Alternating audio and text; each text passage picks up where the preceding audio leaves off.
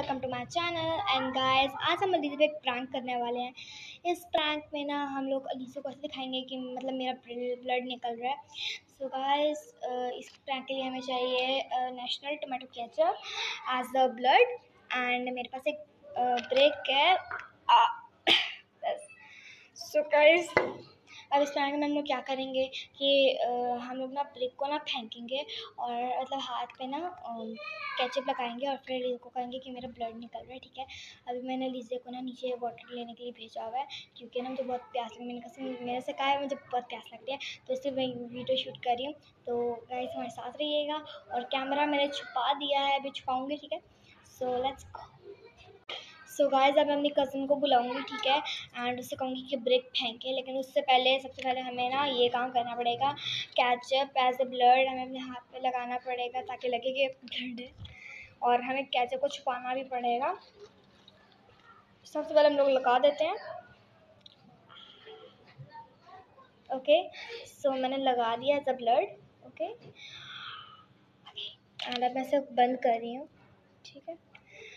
सो अब मैं अपनी कज़न को बुलाती हूँ ठीक है ताकि वो अपनी ब्रेक फेंक सके और आ, हमारा प्रैंक शुरू हो पाए ठीक है तो ये लो ये रखो। तो भाई जब मैंने अपनी कज़न को बुला रहे हैं तो अब वो फेंकने लगी है ब्रेक ठीक है जल्दी।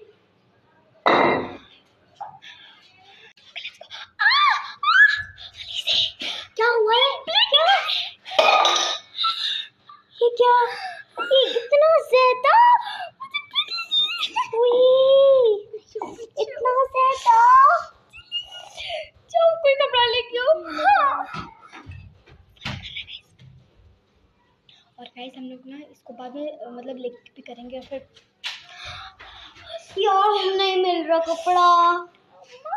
अली से जाओ नीचे छूट गया प्लीज़ यार नहीं मिल रहा।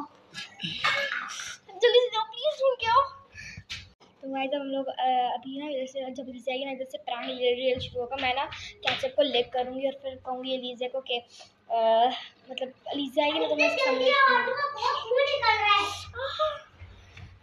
यार ये तो पूरे हाथ में फैल गया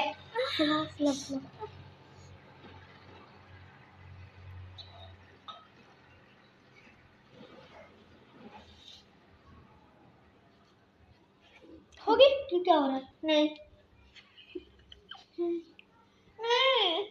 अलीजा प्रैंक कर रहे थे हम तुम पर। और? ये, देखो। ये क्या सब था।